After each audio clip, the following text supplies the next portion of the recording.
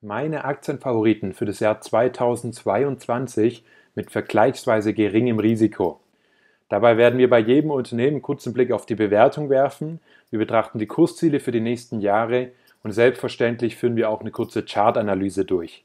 Wichtig an der Stelle, was bedeutet denn Top-Aktie für mich? Und zwar sind es zum einen natürlich absolute Qualitätsunternehmen, die also wirklich top aufgestellt sind, zum anderen fließt da für mich aber auch die aktuelle Bewertung mit rein. Denn hier liegt wirklich der Fokus auf absolute Top-Unternehmen, die momentan aber gleichzeitig noch sehr attraktiv bewertet sind. Der zweite Punkt wäre wenig Risiko. Und da ist natürlich klar, die Aktien unterliegen immer gewissen Schwankungen oder dem allgemeinen Börsenrisiko.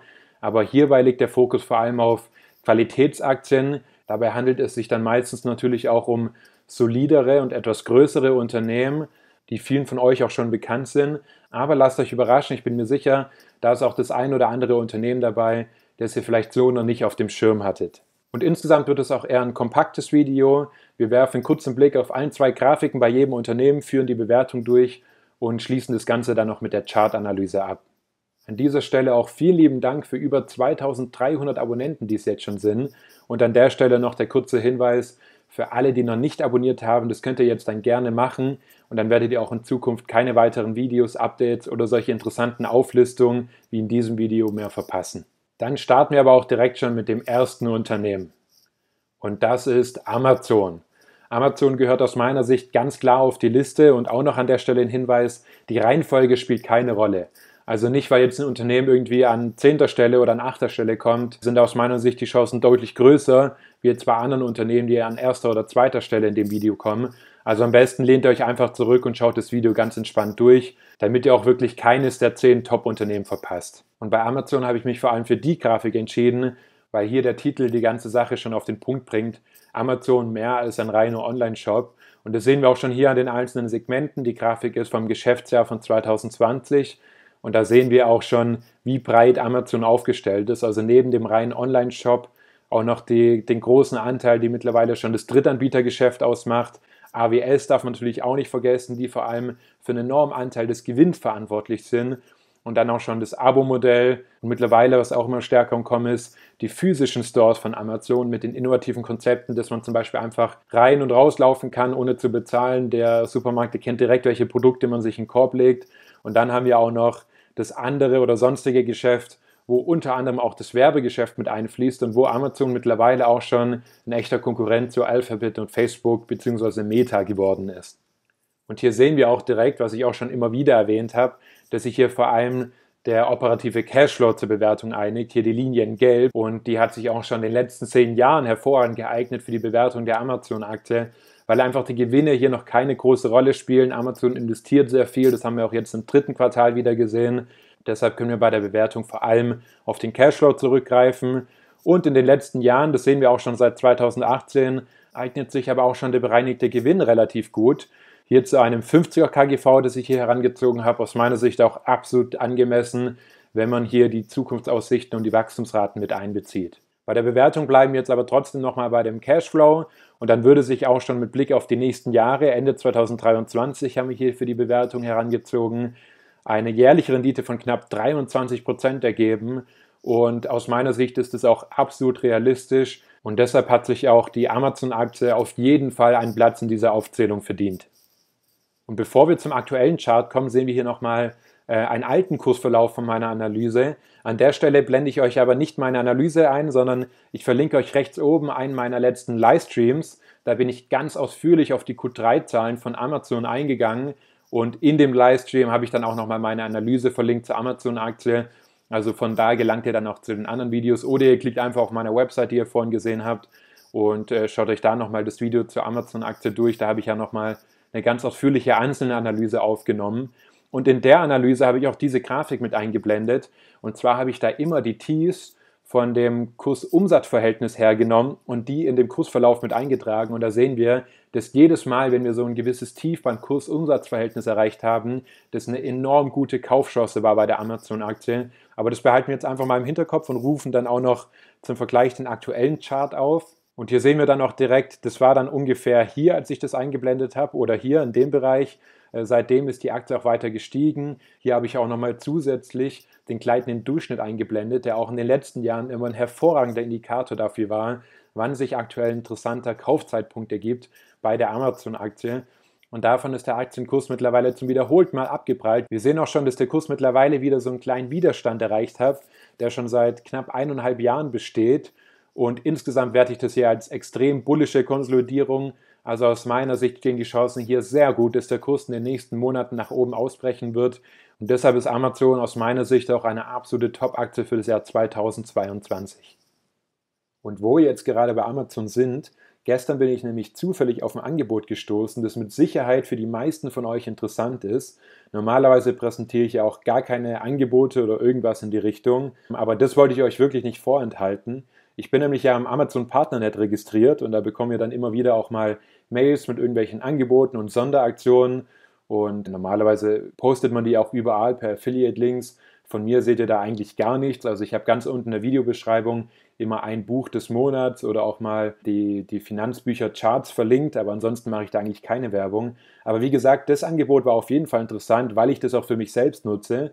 Und zwar bin ich schon seit vielen Jahren eigentlich Audible-Kunde, weil das aus meiner Sicht eine super Möglichkeit ist, Bücher zu hören, wenn man irgendwie unterwegs ist, wenn man gerade die Wohnung aufräumt, den Abwasch macht oder im Zug sitzt, was auch immer. Und wie wir hier sehen, normalerweise kostet so ein Audible-Monat 9,95 Euro. Das heißt, dann bekommt ihr ein Guthaben pro Monat. Und aktuell haben wir eben das Angebot, dass man sechs Monate für 4,95 Euro hören kann. Wie gesagt, das habe ich auch schon meinen Freunden privat erzählt und ich werde euch hier auch nie irgendwas vorstellen, was ich nicht selbst nutze. Aus meiner Sicht ein klasse Angebot, weil ihr einfach für 4,95 Euro ein komplettes vollwertiges Buch euch anhören könnt und ihr könnt auch jederzeit kündigen.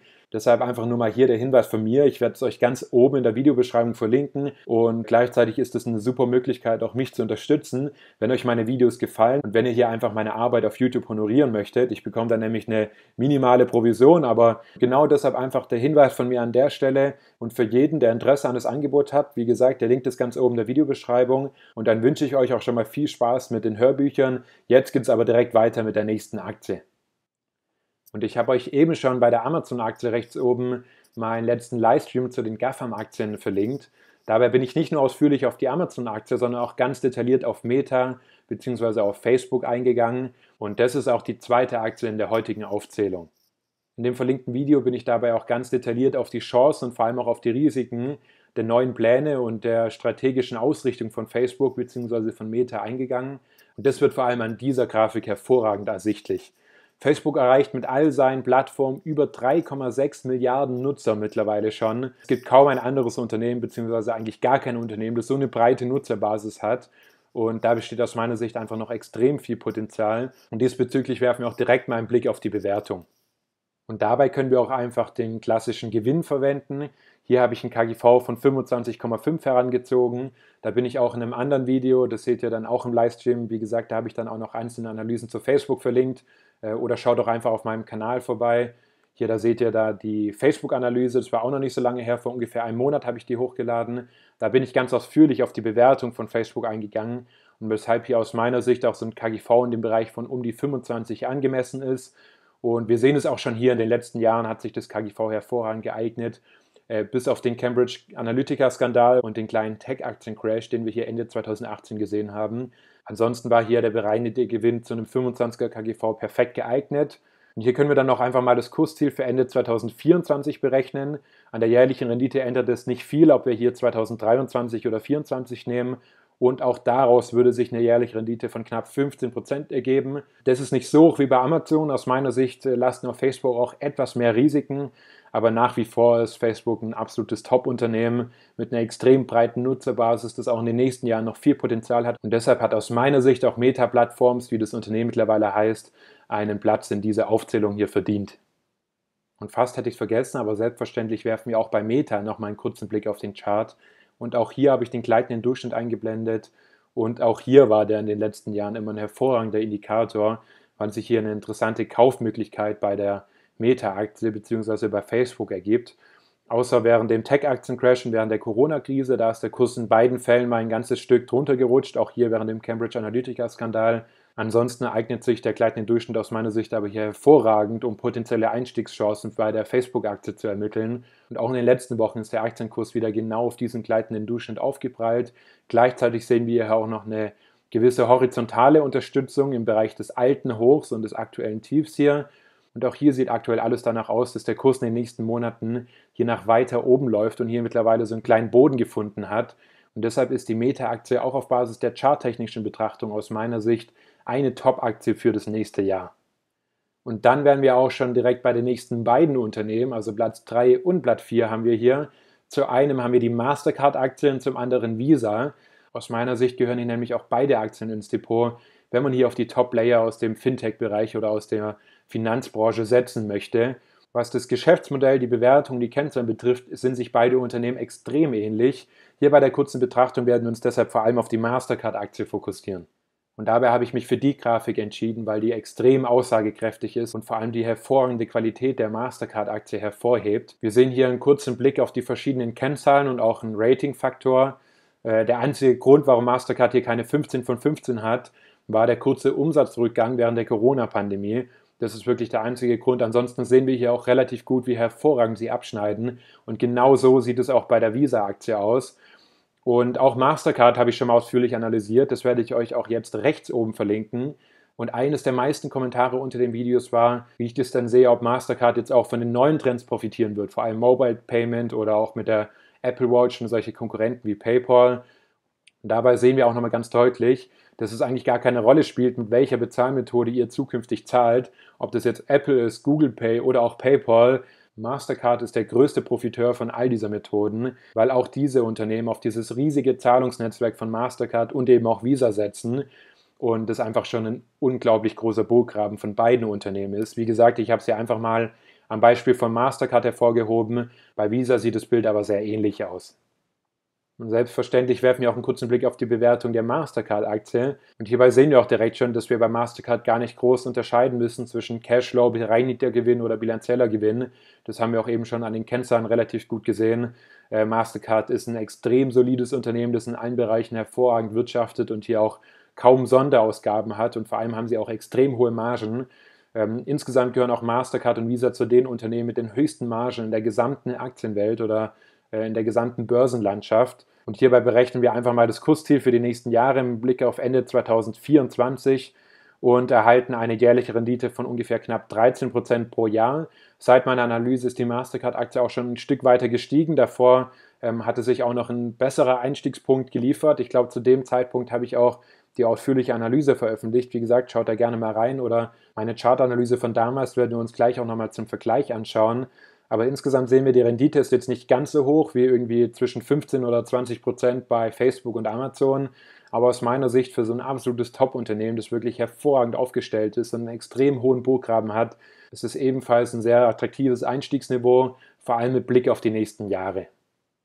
Und hier haben wir einmal zuerst den Kursverlauf der Visa-Aktie. Ähm, auch hier habe ich wieder den gleitenden Durchschnitt eingeblendet. Ihr seht auch direkt schon warum. Der war ebenfalls auch bei der Visa-Aktie in den letzten Jahren immer ein hervorragender Indikator wo sich momentan eine ganz interessante Chance zum Einstieg ergibt. Und auch hier ist die Aktie nur während der Corona-Pandemie einmal kurz unter diesen gleitenden Durchschnitt durchgebrochen. Momentan bewegt sich der Aktienkurs ebenfalls auf den gleitenden Durchschnitt und gleichzeitig auf einer ganz interessanten horizontalen Unterstützung mit Blick auf das alte Hoch vor dem Einbruch während der Corona-Pandemie. Und deshalb ist die Visa-Aktie aus meiner Sicht auch mit der charttechnischen Betrachtung eine sehr interessante Aktie für das nächste Jahr bzw. für die nächsten Jahre. Und wie erwähnt, werfen wir bei Mastercard erstmal einen kurzen Blick auf meine alte Chartanalyse. Und da sehen wir eigentlich, die sieht relativ ähnlich aus zu Visa. Auch hier haben wir einen sehr interessanten gleitenden Durchschnitt. Und auch hier haben wir eine sehr solide horizontale Unterstützung, auf der der Aktienkurs kürzlich erst aufgebreitet ist. Gleichzeitig habe ich als Ergänzung bei der Mastercard-Aktie noch einen äh, mittelfristigen Aufwärtstrend eingezeichnet, der schon seit Mitte 2018 Bestand hat. Und das hier ist einmal die charttechnische Betrachtung zu meiner Analyse, die ich durchgeführt habe Anfang September. Und das vergleichen wir jetzt einfach mal kurz mit dem aktuellen Chart. Und dabei sehen wir, dass der Aktienkurs sich zwar momentan immer noch im Bereich des gleitenden Durchschnitts befindet und auch gerade eben erst von dieser horizontalen Unterstützung entfernt hat, beziehungsweise von der unteren Unterstützungszone des langfristigen oder des mittelfristigen Aufwärtstrendkanals. Das heißt, hier ist die Aktie schon ein ganzes Stück angestiegen seit meiner Analyse, aber aus meiner Sicht bietet sich hier immer noch eine relativ interessante Einstiegschance mit Blick auf die nächsten Jahre, genau wie bei der Visa-Aktie. Nachdem wir jetzt schon vier Wachstumsaktien besprochen haben, kommt hier auch schon die erste Dividendenaktie bzw. der erste defensive Wert, nämlich Unilever. Auch dazu habe ich schon mal eine ganz ausführliche Analyse veröffentlicht. Die werde ich an der Stelle nicht verlinken, die findet ihr auch auf meinem Kanal, also schaut am besten da einfach mal vorbei. Und neben dem Unternehmen, wo ich auch in der Analyse ganz ausführlich darauf eingegangen bin, weshalb die aktuelle Situation bei, der, bei Unilever ganz interessant ist und wo ich auch da die großen Chancen sehe des Unternehmens, bin ich da noch auf einen anderen Aspekt mit Blick auf die gesamte Branche eingegangen. Hier sehen wir nämlich einmal die Sektorperformance des SP 500 und vor allem wie in diesem Zeitraum die Branche der defensiven Konsumgüteraktien abgeschnitten hat. Das seht ihr ja einmal in braun hervorgehoben. Und da sehen wir, dass, das sich, dass es immer mal geschwankt hat. Gerade in schwierigen Jahren wie 2007 oder 2008, kurz vor oder kurz nach der Finanzkrise, hat vor allem die Konsumgüterbranche extrem gut abgeschnitten. Auch 2014, 2015 gab es mal schwierige Jahre und momentan haben wir das Szenario, dass die Tech-Aktien in jedem der letzten fünf Jahre deutlich besser als die defensive Konsumgüterbranche abgeschnitten hat. Und wenn sich dieses Muster bzw. diese abwechselnden Perioden der Performance hier weiterhin beibehalten, stehen die Chancen sehr gut, dass wenn es jetzt in den nächsten Jahren mal wieder etwas turbulenter wird, dass dann es auch mal wieder das ein oder andere Jahr gibt, wo vor allem eben die defensive Konsumgüterbranche oder genau diese Dividendenaktien deutlich besser abschneiden werden als die Tech-Aktien. Und das kann man natürlich nicht sicher sagen. Momentan lastet auch vor allem die Inflation und die steigenden Preise auf diese Unternehmen. Aber zumindest eignen sich solche Aktien wie Unilever als Beimischung vom Aktiendepot, um hier einfach nochmal ein bisschen Diversifikation mit reinzubringen, vor allem auch als Ergänzung zu diesen ganzen Tech- und Wachstumsaktien, die ja auch in meinem Portfolio relativ groß vertreten sind. Und auch bei Unilever werfen wir einen kurzen Blick auf die Bewertung bzw. auf die Kursziele der Aktie für die nächsten Jahre. Und dabei kommen wir auch auf einen Durchschnitts-KGV von ungefähr 22. Wir sehen auch schon hier, es macht keinen großen Unterschied, ob wir den bereinigten Gewinn oder den ganz normalen bilanziellen Gewinn verwenden. Da gab es mal in den letzten Jahren ein paar Unterschiede, aber insgesamt, vor allem mit Blick auf die nächsten Jahre, gleichen sich diese Werte relativ gut an. Und vom aktuellen Kursniveau können wir hier sogar mit einer Rendite von um die 15% rechnen mit Blick auf Ende 2023. Und gerade für so einen defensiven, stabilen und soliden Wert ist das aus meiner Sicht eine hervorragende Renditeerwartung. Ähm, klar, die ist nicht sicher. Ich würde wahrscheinlich eher sagen, das wird sich in den nächsten Jahren im Bereich zwischen 10 und 16 Prozent bewegen. Aber aus meiner Sicht ist es auf jeden Fall ein Top-Wert für so eine defensive Konsumgüteraktie. Und auch bei der Chartanalyse sehen wir, dass die Unilever-Aktie sich schon seit vielen Jahren, seit über acht Jahren in einem langfristigen Aufwärtstrend bewegt. Und gleichzeitig sehen wir hier eine extrem solide Unterstützung, die ebenfalls schon seit über fünf Jahren Bestand hat. Und an dieser horizontalen Unterstützungszone ist der Kurs auch in den letzten Jahren mehrfach nach oben abgebreit, beziehungsweise hat hier in dem Bereich seinen Boden gefunden. Aktuell bewegt sich der Aktienkurs ebenfalls genau auf dieser Unterstützungszone und gleichzeitig noch auf dem langfristigen Aufwärtstrend. Das heißt, hier haben wir sogar eine doppelte Unterstützung als Ergänzung dann auch noch zu der attraktiven Bewertung, wie wir es eben gesehen haben, hat hier die Unilever-Aktie aus meiner Sicht auf jeden Fall einen Platz in diesen Top-Aktien für das nächste Jahr verdient. Und dann kommen wir auch schon zur nächsten defensiven Dividendenaktie und wahrscheinlich auch zur großen Überraschung für die meisten von euch. Hier haben wir nämlich Vielmann. Das ist aus meiner Sicht eine sehr unterschätzte Aktie, die auch ihren Hauptsitz in Deutschland haben. Ich glaube, jeder kennt Vielmann, da muss man nicht viel zu sagen. Und insgesamt ist Vielmann auch einer der führenden Optikerketten, vor allem in Mitteleuropa. Großer Pluspunkt aus meiner Sicht ist, dass es hier ein familiengeführtes Unternehmen ist. Das heißt, hier werden vor allem langfristige und strategische Entscheidungen getroffen. Und deshalb ist Vielmann aus meiner Sicht auch eine hervorragende Buy-and-Hold-Aktie, mit Blick auf die nächsten 10 bis 15 Jahre. Und auch da könnt ihr einfach mal bei den Videos auf meinem Kanal vorbeischauen. Da habe ich in einem Video, das hieß Fundamental und charttechnisch attraktiv, in Bezug auf drei defensive Aktien. Da habe ich auch noch mal einen etwas näheren Blick auf Vielmann geworfen, da könnt ihr gerne mal vorbeischauen. Aber ich habe auch für heute noch mal eine interessante Grafik mitgebracht. Und zwar von einem ausführlichen Bericht in Bezug auf die Optikerbranche. Und das war nämlich auch ein Kommentar, was ich relativ häufig gesehen habe. Wie gesagt, schaut auf das Video, da bin ich auch ganz ausführlich auf das Kommentar eingegangen, wenn ihr jetzt noch mal im Detail nachlesen möchtet. Ein Kommentar war nämlich, wie ich denn die Entwicklung der E-Commerce-Branche bzw. des Online-Geschäfts mit Bezug auf die Optikerunternehmen sehe. Äh, vor allem solche Unternehmen wie Mr. Specs, die ja auch groß online verkaufen. Und äh, dabei kann ich mich immer wieder nur auf diese Grafik hier beziehen, nämlich knapp 90 Prozent aller Käufe, was Brillen betrifft, werden im stationären Handel betrieben, also im Laden vor Ort. Und gleichzeitig auch nochmal der Großteil, knapp 10 Prozent, bezieht sich auf Multichannel-Käufe, wo eben auch Vielmann stark vertreten ist. Das heißt, dass man sich seine Brille hier vielleicht schon online anschauen kann oder online vorreservieren und die dann einfach im Laden nur noch mal kurz anprobiert oder eben abholt. Und genau da ist Vielmann eben extrem stark aufgestellt. Ähm, es gibt kaum anderes Unternehmen, was so viele Filialen hat, vor allem mit Blick auf Deutschland und Mitteleuropa. Und gleichzeitig, auch dazu habe ich mir mehrere Grafiken angeschaut, ist Vielmann dasjenige Unternehmen, das mit den einzelnen Läden am meisten Umsatz erzielt. Und hier in der Bewertung der Aktie sehen wir, dass das Gewinnwachstum der Aktie in den letzten 10, 15 Jahren eher bescheiden war. Ähm, hier gab es so ein kleines Wachstum, aber vor allem in den letzten fünf Jahren gab es eher eine langfristige Stagnation. Vielmann hat sich hier zum Teil auch neu ausgerichtet und vor allem sehr hohe Investitionen getätigt und sind weiter expandiert, unter anderem auch in Italien, Österreich und in der Schweiz. Also haben sich einfach in Mitteleuropa etwas breiter aufgestellt. Dennoch sehen wir, dass Vielmann hier in den letzten fünf Jahren, also trotz dieses stagnierenden Gewinnwachstums, durchgängig mit einem KGV von über 30 bewertet wurde. Das hat ganz viele verschiedene Gründe, auf die man auch etwas detaillierter darauf eingehen muss. Da empfehle ich euch einfach nochmal einen näheren Blick auf, meine, ähm, auf das Video zu werfen, das ich vorhin schon erwähnt habe. Also schaut dabei einfach auf meinem Kanal Fundamental und Charttechnisch attraktiv.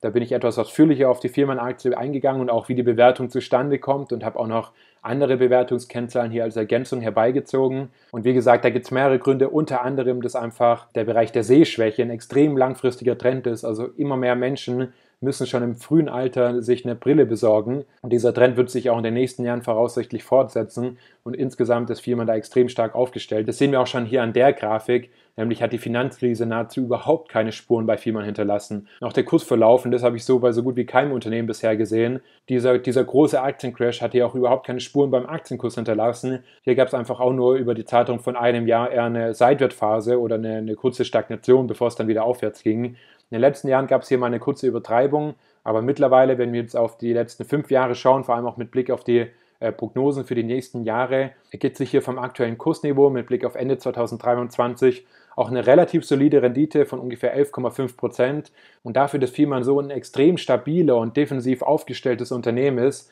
ist diese Renditeerwartung mit Blick auf die nächsten zwei Jahre aus meiner Sicht auch ein sehr attraktiver Wert. Und deshalb hat Vielmann eher als kleines und als weniger bekanntes Unternehmen auch hier einen Platz in meinen Top 10 Aktien für das nächste Jahr verdient. Und dabei ist vor allem auch der Blick auf den Chart interessant.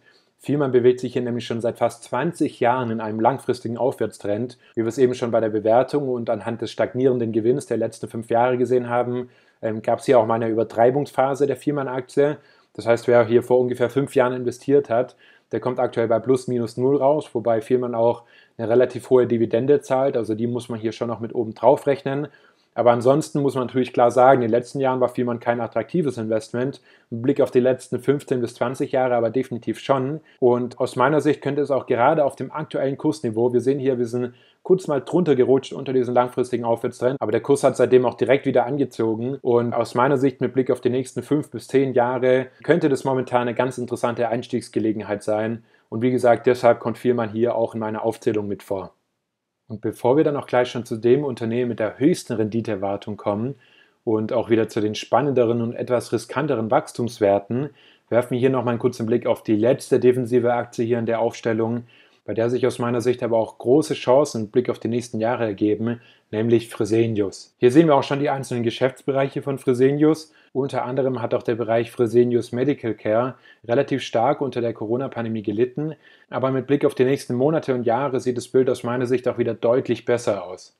Und da der Aktienkurs momentan noch so niedrig ist und auch die Bewertungskennzahlen der letzten Jahre den Blick auf die Zukunft bzw. die Kursziele etwas verfälschen, gehen wir hier in dem Video mal nur auf eine Bewertungsmethode ein. Ich verlinke euch an der Stelle aber nochmal rechts oben das Video meiner letzten drei Aktienkäufe, die sind auch noch relativ aktuell. Nämlich im letzten Monat, im Oktober, habe ich mir drei neue Aktien ins Depot geholt und Fresenius war eine davon.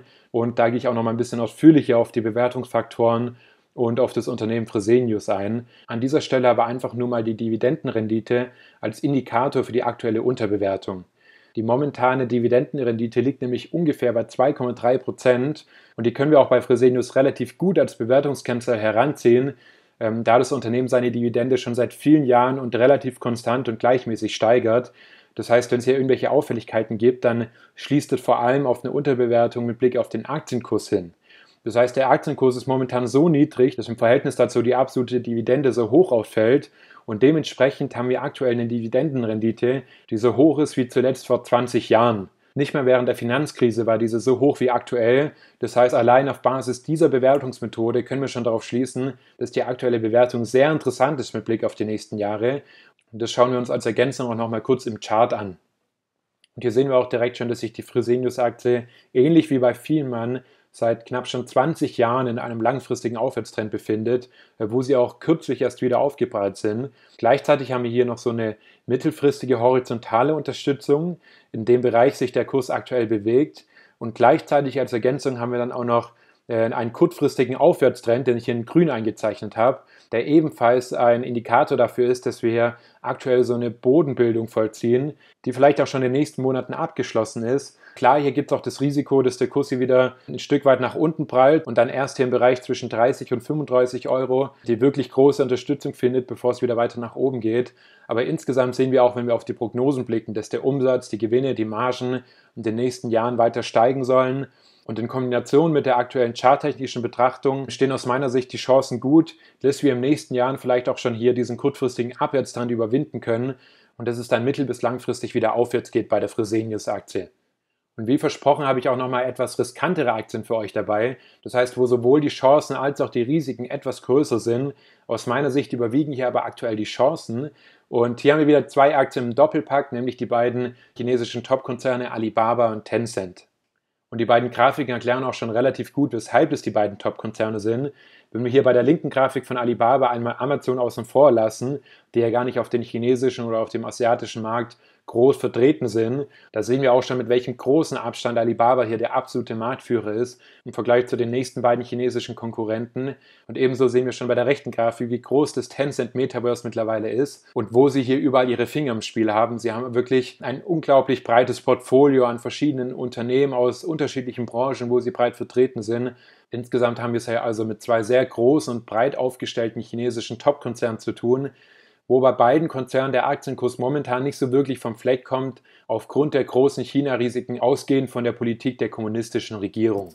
Und auch darauf bin ich in einem alten Video schon mal ausführlich eingegangen. Das werde ich euch jetzt an der Stelle rechts oben verlinken. Da habe ich ein ganz detailliertes Video zur Tencent-Aktie aufgenommen und wie ich die Situation aktuell auch einschätze und wie ich ja auch die Chancen sehe mit Blick auf die nächsten Jahre dass sich hier diese beiden chinesischen Top-Konzerne wieder erholen werden. Und dabei bin ich auch auf die Bewertung der Tencent-Aktie eingegangen. Das ist auch bei beiden Unternehmen relativ ähnlich. Hier in dieser Aufzählung werfen wir jetzt einfach mal nur einen Blick auf die Bewertung, die Kursziele der Alibaba-Aktie, die aber auch stellvertretend für die Tencent-Aktie steht.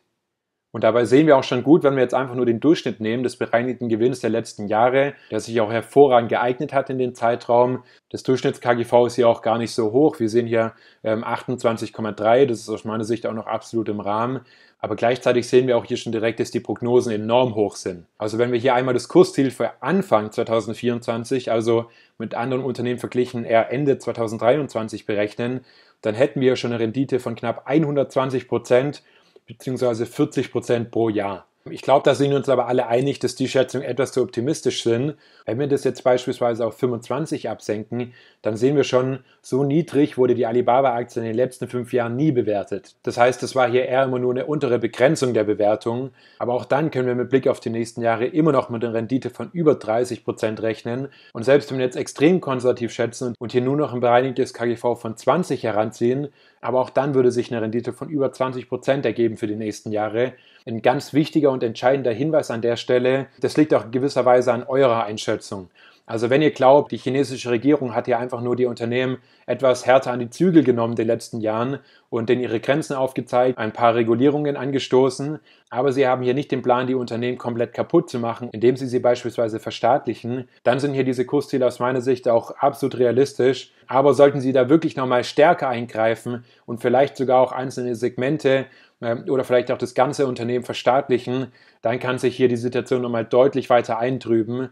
Und dann hätte das auch enorme Konsequenzen für den Aktienkurs und dementsprechend natürlich auch für die Rendite mit Blick auf die nächsten Jahre. Das heißt, die Frage muss jeder von euch selbst beantworten. Wie gesagt, schaut da gerne mal in mein zuvor verlinktes Video zur Tencent-Aktie rein. Da bin ich etwas detaillierter darauf eingegangen. Ich bin da eher bei dem ersten Szenario. Das heißt, aus meiner Sicht hat die Regierung zwar etwas stärker durchgegriffen, plant aber nicht, die Unternehmen komplett kaputt zu machen. Und dementsprechend rechne ich auch hier mit einer Rendite von um die 20% pro Jahr. Aber als Ergänzung blicken wir auch nochmal kurz auf die Chartanalyse der beiden Unternehmen. Und da sehen wir zum einen den Chart der Alibaba-Aktie, der sich auch auf einer relativ interessanten Unterstützung gefangen hat. Ich glaube, auch hier in dem Bereich habe ich auch einen meiner letzten Nachkäufe getätigt. Und da sehen wir auch, dass es eine sehr solide Unterstützung war mit großem Potenzial, dass der Aktienkurs von Alibaba hier in dem Bereich seinen Boden findet. Gleichzeitig ist der Kurs auch nochmal auf diesen mittelfristigen Abwärtstrend aufgeprallt. Das heißt, hier hätten wir in gewisser Weise auch eine doppelte Unterstützung. Und aus meiner Sicht stehen die Chancen hier relativ gut, dass sich der Aktienkurs in den nächsten Monaten weiter erholen wird. Und deshalb hat es auch die Alibaba-Aktie in diese Aufzählung geschafft. Und ähnlich sieht es natürlich auch bei Tencent aus. Dabei sehen wir aber direkt, dass das Chartbild bei Tencent hier deutlich positiver ist. Also hier bewegt sich die Aktie eher in einem mittelfristigen Aufwärtstrend. Und was bei Alibaba hier der Abwärtstrend war, wo die Aktie nochmal aufgeprallt ist, ist bei Tencent hier nochmal eine deutlich solidere horizontale Unterstützung, auf der der Kurs ebenfalls aufgeprallt ist. Also auch hier hatten wir eine doppelte Unterstützung, die aber bei Tencent insgesamt etwas positiver aussieht. Aber aus meiner Sicht gilt hier das gleiche wie bei der Alibaba-Aktie. Auch bei Tencent stehen die Chancen relativ gut aus meiner Sicht dass sich der Kurs hier in den nächsten Monaten erholen könnte. Und deshalb haben es die beiden Unternehmen als etwas riskantere Werte, aber auch mit dem höheren Renditepotenzial in den nächsten Jahren in diese Auflistung geschafft und gehören zu meinen Top 10 Aktien für das Jahr 2022. Und dann wären wir auch schon bei der letzten Aktie für heute angelangt. Und dabei habe ich mir nochmal eine andere Branche rausgepickt, die wir bisher noch gar nicht hatten, nämlich die Gaming-Branche und Electronic Arts, die hier in diesem Bereich extrem breit vertreten sind, wie wir hier auch im Hintergrund einer Grafik relativ gut sehen können. Und an der Stelle verlinke ich euch auch mein letztes Video hier rechts oben. Und zwar ist es der Livestream vom letzten Wochenende, wo ich ganz ausführlich auf Activision Blizzard und EA eingegangen bin. Während Activision Blizzard nämlich stark eingebrochen ist nach den Q3-Zahlen, hat EA hervorragende und Top-Q3-Ergebnisse geliefert. Ich glaube, das war sogar deren bestes Quartalsergebnis in der Historie des Unternehmens. Und gleichzeitig bin ich da auch relativ ausführlich eingegangen, wo ich hier die großen Chancen sehe mit Blick auf die nächsten Monate und Jahre. Und das sehen wir auch hier relativ gut bei der Bewertung der Electronic Arts Aktie. Hier in der Vergangenheit gab es mal eine gewisse Übertreibungsphase, die wir hier bei allen Gaming-Aktien gesehen haben. Aber seitdem hat sich der Aktienkurs auch wieder relativ gut gefangen. Und wir sehen hier auch, wir können in den nächsten Jahren mit immer weiteren steigenden Gewinnen rechnen. Und die Aktie scheint auch aktuell relativ fair bewertet zu sein. Mit Blick auf Anfang 2024 hier auch wieder wichtig der Hinweis, im Vergleich zu anderen Unternehmen wäre das dann eher Ende 2023 können wir mit einer relativ soliden Rendite von um die 11% rechnen. Nicht allzu berauschend, aber auch keine schlechte Rendite. Aber da wichtig als Ergänzung, werft da vielleicht nochmal den Blick auf den Livestream, den ich euch verlinkt habe oder wo ich auch ein anderes Video drin angesprochen habe, wo ich nochmal einzeln nur auf die Electronic Arts Aktie eingegangen bin. Aus meiner Sicht gibt es hier nämlich zwei große Games und ganz interessante Chancen, die dafür sorgen könnten, dass hier die Prognosen in den nächsten Jahren sogar noch weiter angehoben werden. Und deshalb hat es die EA-Aktie auch mit dieser vergleichsweise eher geringen Renditeerwartung für die nächsten Jahre in diese Auflistung mit reingeschafft.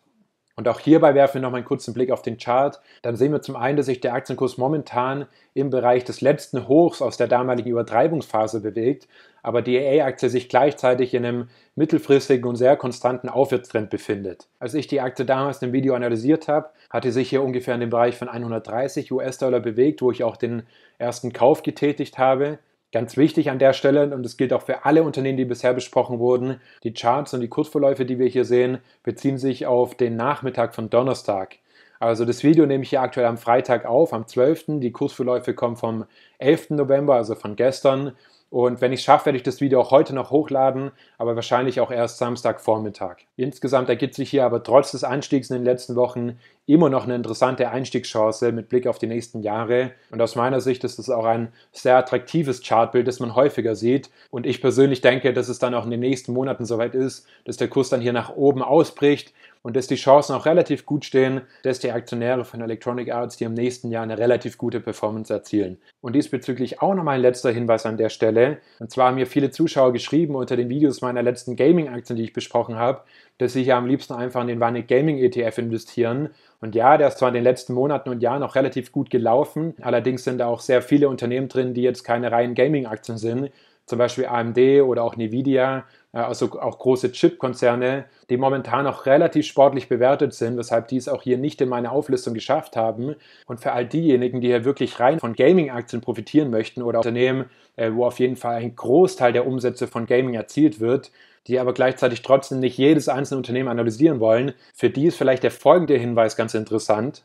Ich habe seit kurzem nämlich auch ein eigenes Wikifolio aufgemacht und es befindet sich momentan in der Anfangsphase. Der Start war auch schon relativ gut mit beiden Aktien. Zum einen sehen wir hier mein Gaming-Wikifolio, da habe ich verschiedene Gaming-Aktien mit reingenommen, die ich auch ganz ausführlich analysiere, sowohl aus fundamentaler, aber auch aus charttechnischer Sicht. Das heißt, ich investiere auch nur, wenn sich aus meiner Sicht eine sehr interessante Einstiegschance bietet. Und das könnt ihr dann auch ganz ausführlich nachlesen. Klickt da einfach mal drauf. Ich habe ja auch nochmal ein Wikifolio erstellt für alle Aktien, das heißt so ein weltweites Aktiendepot. Ich werde euch beide Wikifolios in der Videobeschreibung verlinken. Schaut da gerne mal rein. Und an der Stelle auch nochmal die Erinnerung an das Angebot von Audible. Das heißt, werft auch da gerne mal einen Blick drauf. Wie gesagt, ich habe das euch nur empfohlen, weil ich es interessant finde, weil ich es auch aktuell selbst nutze, weil das aus meiner Sicht einfach ein ähm, super Angebot ist. Also schaut da gerne mal rein. Und dann wird mich zum Abschluss auch noch brennend interessieren, was sind denn eure Top 5 Aktien mit Blick auf das nächste Jahr? Wo seht ihr hier Überschneidungen mit meinen Aktienempfehlungen? Und welche Aktien habe ich hier aus eurer Sicht vergessen? Also nennt mir unbedingt auch noch im Kommentarbereich eure Unternehmen, die hier auf jeden Fall mit reingehört hätten in diese Aufzählung. Und dann können wir uns nämlich auch wie immer gerne ausführlich im Kommentarbereich austauschen. Und dann könnt ihr nämlich auch die Aktienideen von allen anderen Zuschauern sehen. Und dann haben wir nämlich als Ergänzung zu diesem Video auch nochmal eine ganz interessante Auflistung im Kommentarbereich. Also schreibt mir gerne eure Top-Aktien mit rein. Gebt ein Like, wenn euch das Video gefallen hat. Wenn ihr noch nicht abonniert seid, könnt ihr das gerne machen. Dann werdet ihr in Zukunft keine weiteren Videos mehr verpassen. Und dann wünsche ich euch noch ein schönes Wochenende und bis zum nächsten Mal.